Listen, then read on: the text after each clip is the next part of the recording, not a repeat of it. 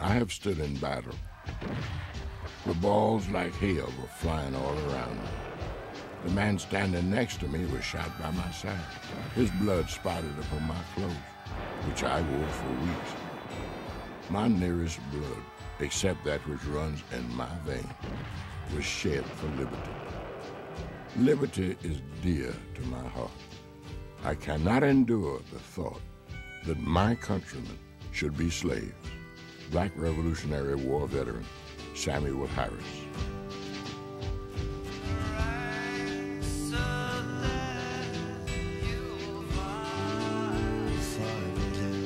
Men of color, to arms. We can get at the throat of treason through the state of Massachusetts. She was first in the War of Independence, first to break the chains of her slaves, first to make the black man equal before the law, first to admit colored children to her common schools. She was first to answer with her blood the alarm cry of the nation when its capital was menaced by the rebels. Massachusetts now welcomes you as her soldiers. Frederick Douglass. If it had not been for the Negro Cavalry, the Rough Riders would have been exterminated. I am not a Negro lover. My father fought with Mosby's Rangers, and I was born in the South, but the Negroes saved that fight. Washington Post.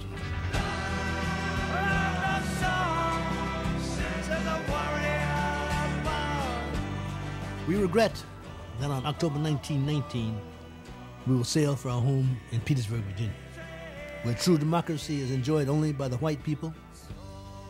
Why did black men die here in France, 3,300 miles from their home?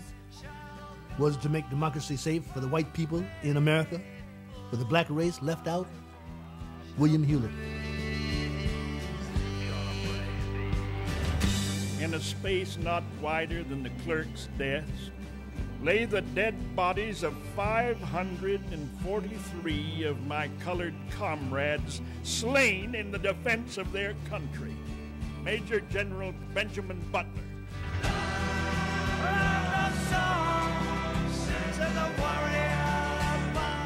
Be said that the Negro soldier did his duty under the flag, whether that flag protected him or not. World War I Private Edward Johnson.